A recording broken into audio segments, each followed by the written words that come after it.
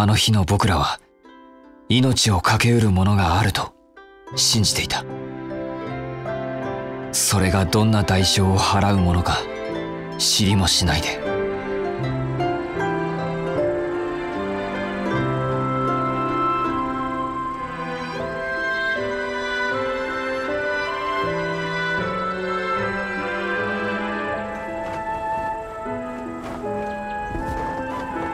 3月10日僕たちは帝国領内を進撃していた。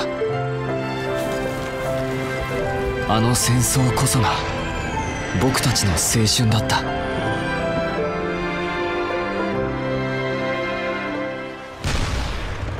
進撃を続ける彼らを待ち受ける帝国軍の反撃。奮い立て勇敢なる兵士たちこのヨーロッパから腐りきった戦車どもを一掃するのだ。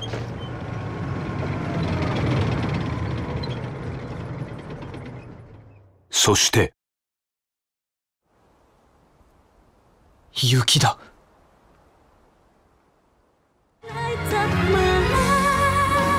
吹雪の前兆なんてなかったはずだ。逃がしはしない。私は選ばれた証を見せる現代によみがえった伝説バルキュリア。一刻も早くこの領域から離れるんだ！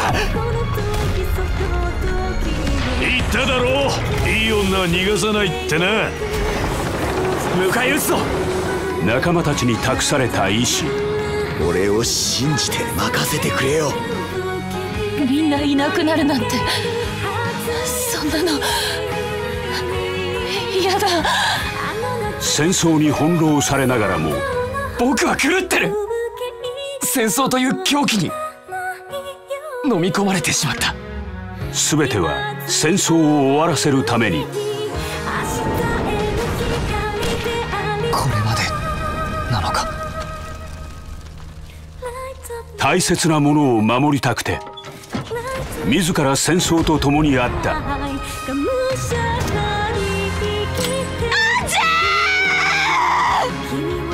極寒の地での戦いは熱い友情の物語だった。生きてハーフェンに帰ろう。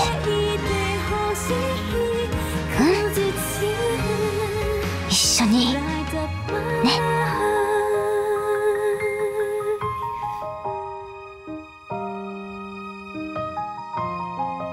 戦場のバルキュリア4